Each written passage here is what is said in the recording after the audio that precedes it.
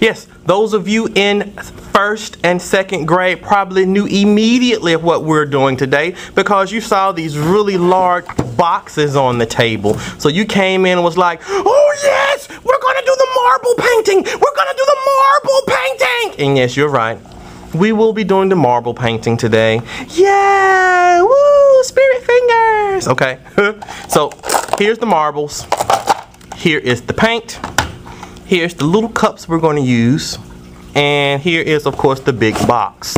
All right, only thing I don't have is my paper and a pencil because that's what we always start out with. We start out by writing our name on our paper. And it's, guys, it's very important this time because once you have paint on this side, you've already done your painting, there's no way you can turn it over like this and write your name because what would happen? That's right. The painting will get all over the table and be ruined, okay? So what we want to do is write our name first. Then we're going to sit it inside of this box. I know it's a big messy, messy mess in there, but you just sit it down in there like that. And then we're going to go to the basket. Grab yourself one cup and two marbles. Let's say that again. One cup and two marbles, okay? You're gonna put those marbles in there and then you pick yourself one color at a time. Now I have the three main colors, the yellow, the red, and the blue. Now you should have really worked with these three colors before because I believe Miss Presley had you using them in science class. Who remembers why these three colors are the most important ones? That's right, because you can use these three colors to mix any other color you like, okay? So we're gonna slide that to the side right there. Now, this is how this is going to work. You pick one color. You're only going to use one color at a time. And you're only going to put three drops of paint on each marble. Let's try this. One, two, and three. Let's do it again. One, a two, and a three. Okay, and that's it.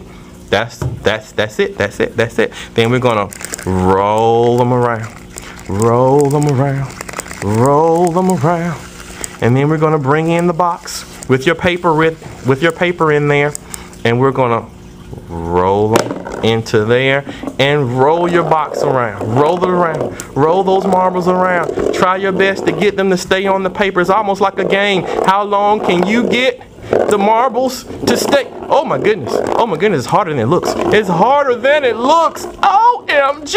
Ah! Okay, that may have been a little over the top. But you get the idea. You want to roll the marbles around on the paper, and that actually makes trails, a paint trail. Well, until the marbles are empty and there's no more paint on them. When that happens, you just reach in, grab them, and you can put them back in the same cup. Now once you've done the first color, you can think about mixing colors then. But we're still only using three drops of paint on each marble. Okay? Three drops on each marble. Say that with me.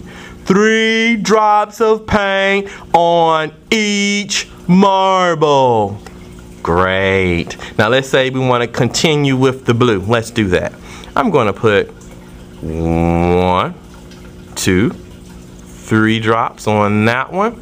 And let's say we want to get, I don't know, let's get a little crazy here.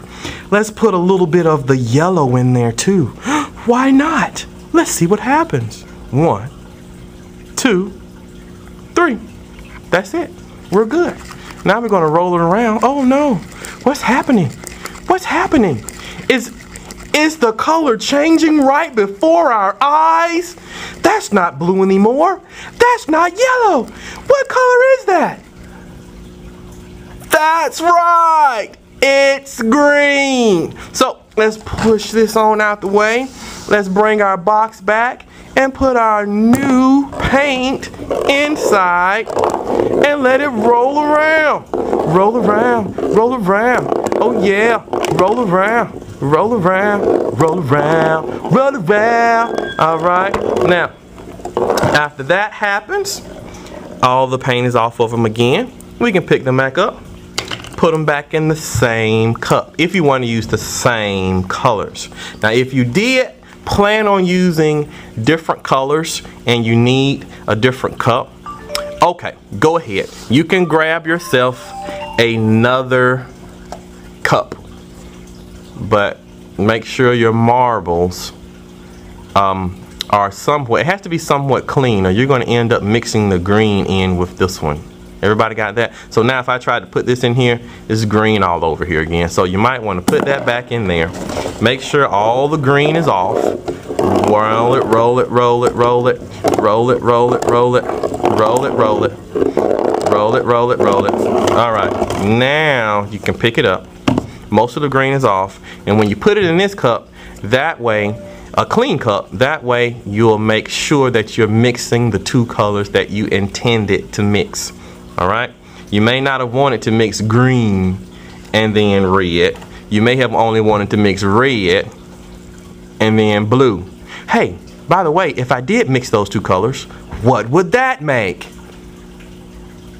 You got it. Purple. Y'all are so smart I tell you. Anyway that is it. That's the whole project. You can mix colors you can make colors and you come out with a really funky looking art piece. It kind of looks like you just got a, uh, dipped a brush into a bucket of paint and flung it all over the place, which is the way that Mr. Action Jackson actually got his nickname. His real name is Jackson Pollock, but he got paint and flung it everywhere and made paintings that look like this. And so that's what we're going to do today. We're doing a tribute to Mr. Action Jackson. Okay? And that is pretty much it. Okay? I want you guys to go ahead and have fun. No. She, she do it. Take me a picture.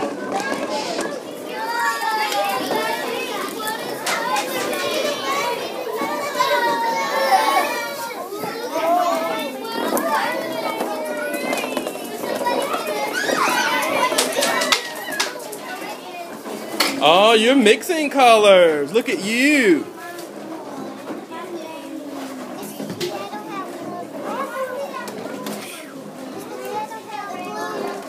What color is it to make? Purple. Look and see. What color is that?